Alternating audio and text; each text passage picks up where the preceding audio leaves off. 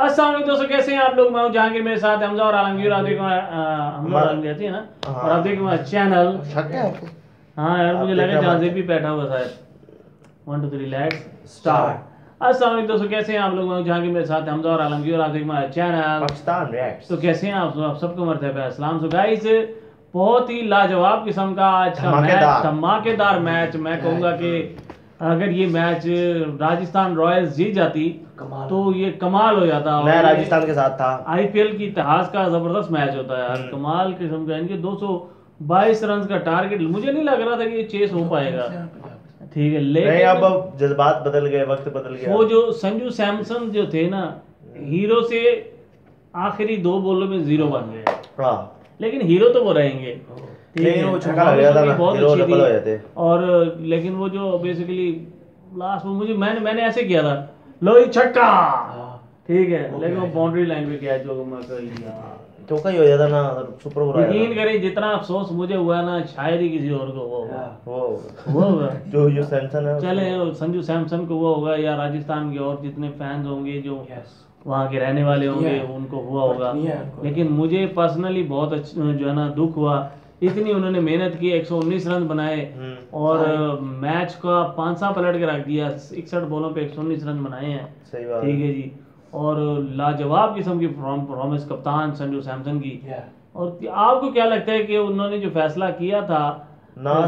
Single ना लेने वाला रन ना लेने वाला सेकंड लास्ट बॉल पे क्या वो फैसला ठीक था? अगर मुझसे पूछेंगे तो मुझे भी वैसे सही लगा है। ठीक है कि उन्होंने की 119 रन बनाए हुए उन्हें पता था कि यार मैं खुद ही अपने ऊपर ही लेके मैच जिताऊँगा। हम्म, ठीक है। और शायद इनसे ना लगे। और शॉट भी उन्होंने मार दी थी लेकिन वो बॉल एक्स्ट्रा कवर से ऊपर से थी।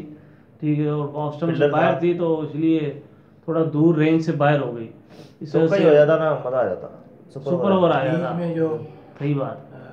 पराग साहब ने यार बड़ी कमाल की यार उस मारे, 25 टाइमिंग चेक कर जो उसने छक्का मारा ना उसको शामी को भाई मुझे बहुत अच्छा लगा इतना लाजवाब उनका ऐसे ही किया वो गया छे हम्म, और वो भी जो है ना क्या कहते हैं काफ़ी दूर गया है। ऐसा समझो क्राउड के अंदर जाके गिरा है। तो उन्होंने तीन छक्के लगाए एक ओवर में और उन्होंने दो छक्के और मैंने कुछ चौके चौके मारे थे।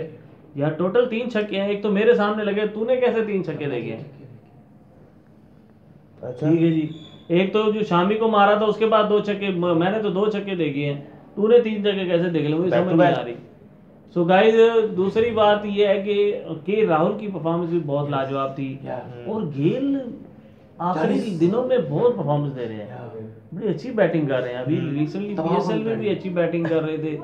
ठीक है और अब ये आईपीएल के अंदर भी बड़ी अच्छी परफॉर्मेंस दे रहे हैं। सही बात है। जाते जाते लगता है अपना जो है ना अरूज दिखा के फिर जाएँगे वर्ल्ड कप खेल के जाएँगे आईपीएल सो गाइस मैच आपको आप बताएँ कि, किसको जो है ना बहुत अच्छा लगा है।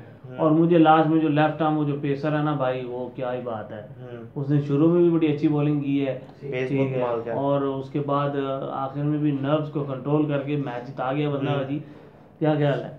सही बात है। तो उनकी जितनी भी तारीफ़ की जाए यार वही काम है और मैं एक बार फिर ये कहूँगा राजस्थान रॉयल्स के फैंस को कि निराश ये निराश नहीं होने का मौका नहीं है निराश होने का मौका नहीं है हम्म, क्योंकि मेहनत बड़ी की है। और 222 रन का टारगेट अगर आप 217 रन भी पहुँच जाएँ तो बहुत है। कोई बात नहीं होता रहता है यार क्या ख्याल है? टक्कर का मैच हुआ। हाँ। तो सो गाइस ये था वीडियो।